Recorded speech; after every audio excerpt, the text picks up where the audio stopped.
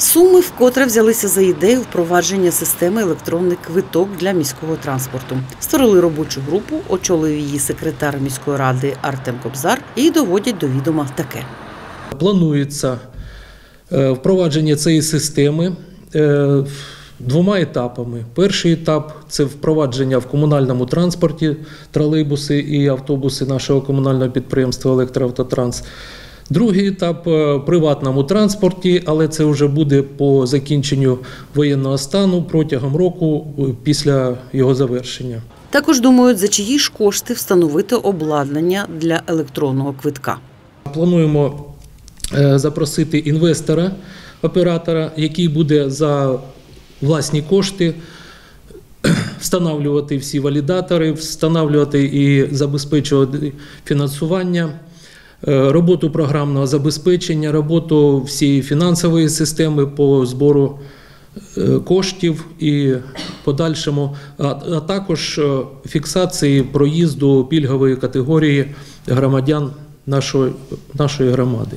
Одним словом, поки що нічого конкретного, як і коли для сумчан з громадського транспорту з'явиться є квиток.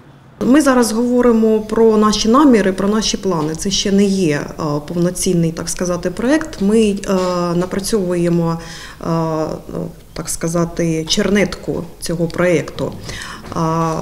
Кожен член робочої групи висловлює свою думку, яку ми обговорюємо детально, вносимо е, все це е, до нашої документації, е, до технічної документації, зокрема, яку ми сьогодні розглядали.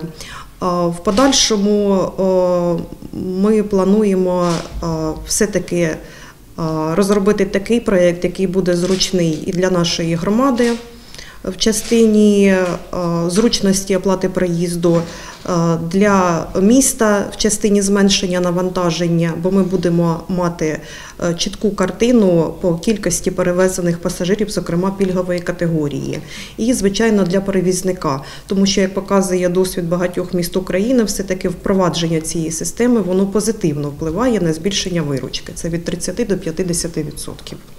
Фактично, є квиток має контролювати пасажиропотік, боротися з зайцями і надихати КП Електроавтотранс.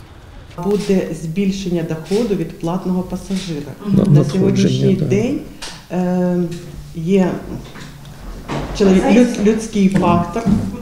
Так, є і зайці, і е, культура наших пасажирів не відповідає високому рівню. Вони або не сплачують проїзд, або є які там Або повертають Повертають. талончики, які вже сплачені. Ну, зловживання. Да, зловживання на, е, на, на рівні кондуктор, водій, пасажир.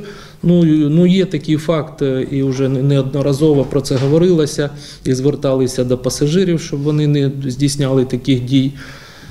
Ну, А поки що робоча група акумулює досвід міст України, кажуть, і навіть європейський, щоб суми зрештою мали найкращий є квиток з усіх, що вже є.